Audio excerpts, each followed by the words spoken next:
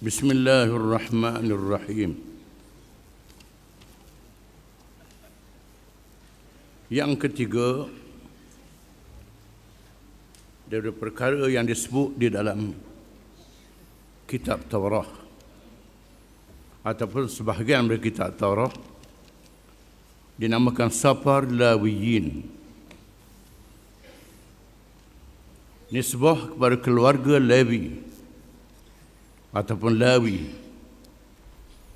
Dalam bahasa Arab disebut Lawi, dalam bahasa orang Eropah disebut Levi.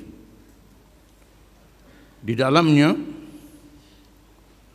banyak perkara-perkara syariat, wasiat, yakni pesanan, hukum-hukum, misalnya tentang menebus dosa, berhubung dengan makanan-makanan yang diharamkan dan perkahwinan yang diharamkan.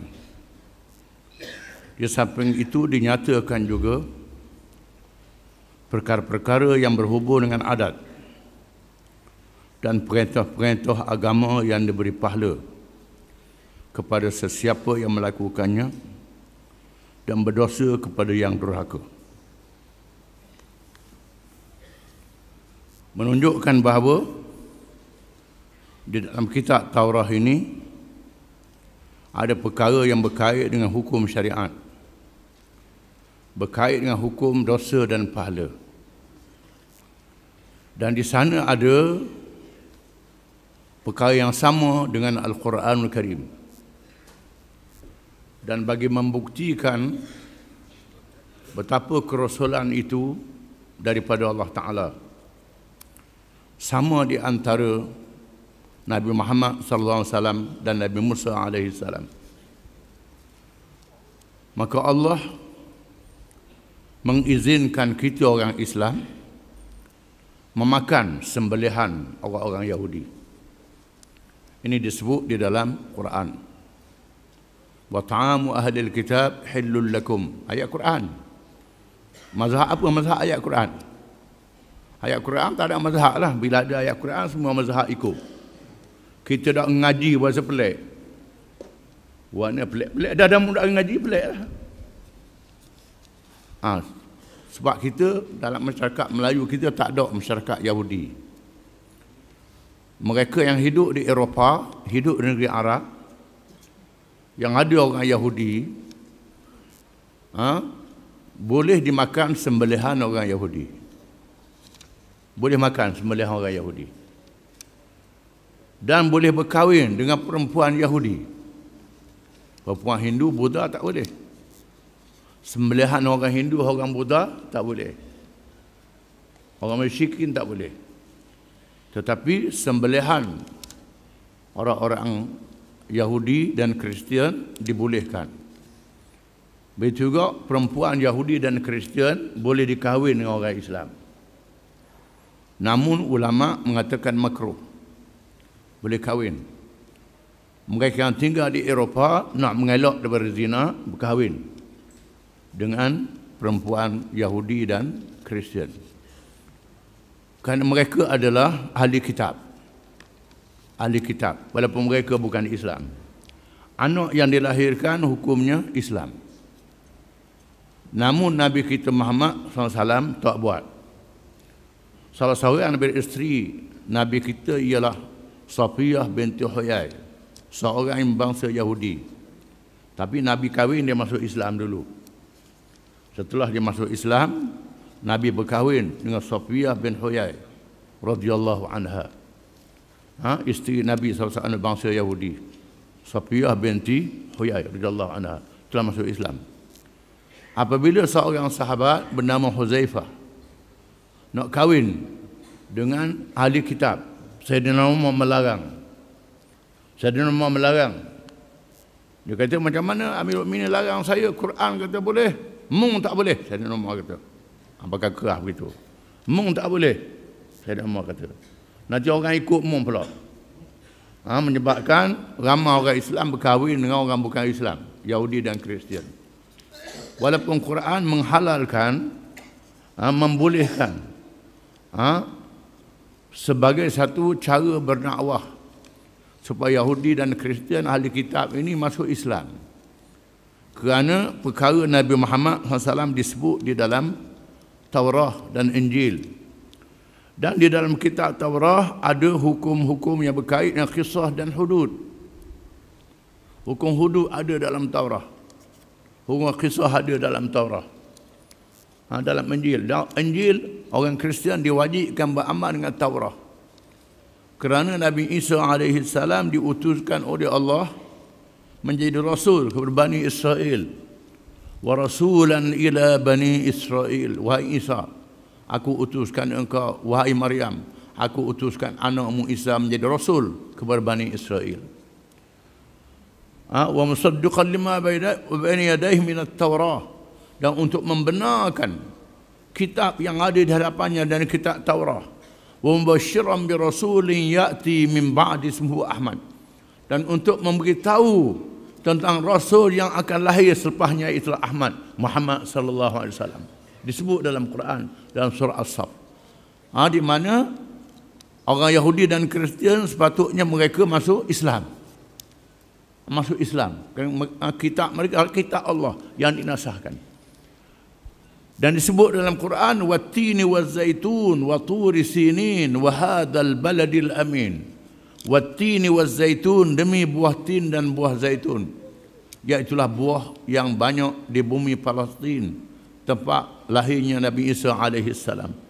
Wa turi sinin dan demi gunung Turi Saina tempat Nabi Musa alaihi salam bermunajat dan bertemu dengan Allah wa hadzal baladil amin dan negeri yang aman ini negeri Makkatul Mukarramah menunjukkan hubungan tiga rasul yang besar yang diutuskan oleh Allah Subhanahu wa taala. Di dalam kitab Taurat disebut hukum hudud. Tapi orang Yahudi meminda hukum Allah. Pindah hukum Allah. Fawailul lil ladzina yaktubuna al-kitaba bi aydihim thumma yaquluna hadha min 'indillah bihi thamanan qalila Fawailul lahum mimma katabat aydihim wa wailul lahum mimma yaksibun. Celaka dan neraka bagi mereka yang menulis kitab dengan tangan mereka dan mereka kata ini daripada Allah. Celaka apa yang ditulis dan celaka celaka apa yang mereka telah usahakan menyebab, menyebabkan mereka masuk neraka. Apabila Nabi kita Muhammad SAW mendirikan kerajaan Islam di Madinah, maka dia ajak orang Yahudi sama duduk dalam kerajaan itu. Mereka tidak dihalau. Sebahagian mereka berjanji berdamai duduk di Madinah. Dan Allah menurunkan ayat-ayat Quran. Di antaranya ayat yang berkait dengan surah ha, yang surah Maidah yang disebut hukum hudud di dalam surah ini. Maka berlaku orang Yahudi berzina lalu mereka mengaruk lomo arang di muka agak tengah orang ramai. Lalu mereka nak cuba Nabi Muhammad SAW Nabi sungguh ke tidak. Kata mereka, mari kita bawa ke Muhammad. Tengok Muhammad hukum macam mana. Bila bawa dekat Nabi, Nabi kata, aku hukum apa yang ada dalam kitab kamu. Apa yang ada dalam kitab kamu. Lalu dia bawa kitab Taurah. Dibaca kitab Taurah itu. Tiba-tiba yang membaca itu tutup dengan jari. Tepat ayat hudud. Baca separuh. Allah bin Salam. Seorang sahabat daripada Yahudi yang masuk Islam. Yang beriman kepada Allah dan Rasulnya. Mengatakan Rasulullah tipu. Sila angkat tangan. Ada dalam Taurah. Maka dia angkat tangan. Baca dalam kitab Taurah itu. Hukum yang ada dalam Quran. Di mana hukum ini masih ada tapi orang Yahudi sengaja. Dan di sana ada perkara yang berkait dengan dosa dan pahala. Tetapi mereka buat main-main. Masuk neraka tak lama 40 hari je. Macam orang puan beranak. Buat main-main pula. Ini orang Yahudi. Ha, mereka sudah menjadi sesat. Yang keempat, sapar adat. Sapar bilangan. Di dalamnya dinyatakan bilangan-bilangan dan pembahagian keturunan Bani Israel dan tertib keluarga menurut perkiraan anak cucu dan yang lelaki di kalangan mereka. Diceritakan juga tentang perjalanan mereka di Sina seperti pernah dinyatakan dalam Safar Khuruj dan dinyatakan juga pengajaran yang berhubung dengan upacara agama dan kemasyarakatan. Dinyatakan juga kisah peperangan Bani Israel menentang musuh mereka. Perbalahan di antara Nabi Musa dengan Harun dan Maryam saudaranya kerana perkahwinan Nabi Musa dengan perempuan Kushi dan Allah memerkai keduanya. Di dalamnya juga disebut kisah pemberontakan Bani Israel yang dipimpin oleh seorang yang bernama Qurah menentang Nabi Musa alaihi salam. Di dalamnya ada betul dan ada salah. Ada betul ada salah. Ada betul ada sesat, ada yang dipindah dan diubah. Dalam safar ada disebut keturunan Bani Israel. Bani Israel, Bani maknanya anak-anak cucu. Israel ialah Nabi Yaqub alaihi salam. Mereka adalah anak cucu Nabi Yaqub alaihi salam. Yang berasal dari Nabi Yaqub bin Ishaq bin Ibrahim alaihi salam. Nabi Yaqub berhijrah mengikut anaknya Nabi Yusuf yang memerintah negeri Mesir. Bersama dengan dua belah orang adik-beradik. Daripada dua belah orang adik-beradik ini setelah lalu masa beribu tahun. Ribu tahun. Lahirnya satu bangsa yang ini bangsa Bani Israel. Bangsa cucu Nabi Yaakob bangsa Yahudi. Disebut di dalam kitab mereka dan Quran menyebut dalam Quran kita temu ya Bani Israel ya Bani Israel kata berapa kali Bani Israel ada surah Bani Israel suratul Isra' surah Israel disebut dalam Quran. Ada perkara yang disebut dalam Quran menandakan Muhammad adalah Rasulullah sallallahu alaihi wasallam. Sepatutnya mereka beriman. Dalam safar adat disebut tentang keturunan Bani Israel daripada anak-anak Nabi Yaqub alaihi salam.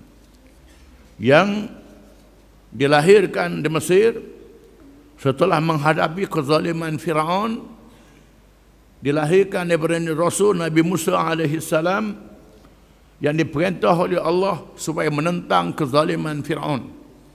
Raja yang paling zalim dalam sejarah manusia yang mengaku dirinya menjadi Tuhan. Ana rabbukumul a'la. Aku Tuhan kamu yang maha tinggi kata Firaun. Alaysa li mulku Misra? Wa anha tajri min tahti afala tubsirun? Tidakkah aku yang memerintah negeri Mesir? Segala air sungai yang mengalir, yang menyuburkan kebun dan tanaman, yang memberi rezeki kepada kamu di bawah kuasa aku. Aku yang berkuasa segala-galanya. Mereka memperhambakan Bani Israel. Lalu Allah beri alamat pada dia akan zahir. Daripada Bani Israel seorang Rasul yang akan menjatuhkan kerajaannya. Lalu Fir'aun mengarahkan dibunuh setiap anak lelaki Bani Israel. Yudhabbihuna abna'akum wa yastahyuna nisa'akum. Mereka menyembelih anak-anak lelaki kamu wahai Bani Israel dan membenarkan anak perempuan kamu wahai Bani Israel disebut dalam Quran. Tapi Allah yang Maha berkuasa. Firaun kecil saja. Musa yang dicari dibesarkan di bawah istana Firaun dengan tidak semena-mena Musa yang nak dibunuh itu dipelihara dalam istana Firaun sendiri dengan kekuasaan Allah. Inilah Musa yang menjatuhkan Firaun. Bala tenteranya yang besar ditenggelamkan di dalam laut merah. Satu juta bala tentera yang memburu Nabi Musa dan pengikut-pengikutnya ditenggelamkan oleh Allah Ta'ala. Disebut dalam safar bilangan ini kisah perjalanan Bani Israel dan diulang lagi perjalanan mereka di Sina iaitulah di pasang pasir Sina yang ada di Mesir antara Mesir dan Palestin. Itulah tempatnya. Tengok dalam peta tak besar mana tapi besar. Besar kawasannya bila Allah Ta'ala perintah pada mereka masuk ke Palestin untuk berjihad menentang orang kafir yang memerintah Palestin mereka berkata, Idhab anta rabbuka faqatila inna hahuna qa'idun. Pergi wahai Musa dengan Tuhanmu. Kami tak mau pergi, kami ada duduk di sini. Maka sedih Nabi Musa alaihi salam. Nabi Musa berdoa, wahai Tuhan, tidak ada lagi malaikat aku dan dan saudaraku Harun. Pisahkan aku daripada mereka. Lalu Allah sesatkan Bani Israel selama 40 tahun. 40 tahun musim tempat tu dia. Tak temu jalan. 40 tahun. 40 tahun maknanya mereka yang jahat pada masa itu mati. 40 tahun. Orang jahat tu umur 20 jadi 60 umur 40 jadi 80 mati. 40 tahun ni matilah tinggal generasi baru. Dan Allah melahirkan generasi baru yang dipimpin oleh Yusha bin Nun. Yang kelima sapar tasniah sapar ulangan. Di dalamnya ulangan 10 wasiat yang dahulu dan dinyatakan pula tentang makanan dan minuman yang halal dan diharamkan tentang sistem kehakiman dan sistem beraja di kalangan Bani Israel tentang kependitaan dan kenabian tentang pemilihan Yashu' bin Nun Yusha' bin Nun. Mereka sebut Yashu' ha, dalam hadis sebut Yusha' bin Nun. Pemilihan Yusha' bin Nun sebagai pengganti Musa alaihi salam dan berakhir dengan peristiwa kewafatan Nabi Musa alaihi salam dan pengkebumiannya di Bukit Muab. Ha, dia mati Nabi Musa disebut dalam sapar ulangan. Ini di antara perkara yang disebut di dalam kitab Taurat. Sebahagiannya ada yang sama dengan Quran, yang sama dengan hadis Nabi sallallahu alaihi wasallam yang kita kena percaya. Sebahagiannya bercanggah dengan Quran. Bercanggah, bercanggah dengan hadis Nabi sallallahu alaihi wasallam, kita kena tolak. Ini sesat menandakan mereka sudah mengubah. Sebahagiannya tidak ada nah dalam Quran dan hadis. Dibiarkan begitu saja. Nak percaya apa tak apa, tak percaya pada apa. Wallahu a'lam.